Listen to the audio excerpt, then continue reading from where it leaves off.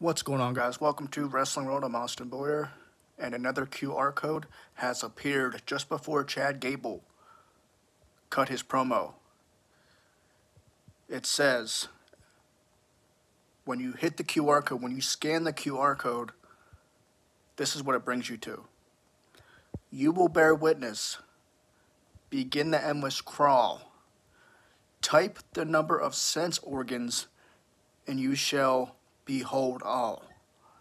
Now, I don't know what this means, and I even typed this in on Google for some translation. And I'm brought to a bunch of Bible verses, but I, I can't figure out what exactly this means. Now, this is another cryptic Uncle Howdy tease, um, and I am baffled by it because I cannot figure this out.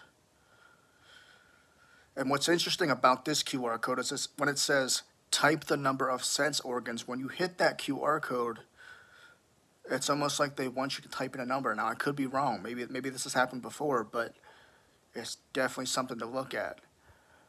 Now, if you guys know what this means, if this is a Bible verse or some type of poem, please let me know in the comments. I am trying to decipher this, but let's decipher this together. Let's break this code and uh, let's get into this. But I, for one, am very excited about another Uncle Howdy tease.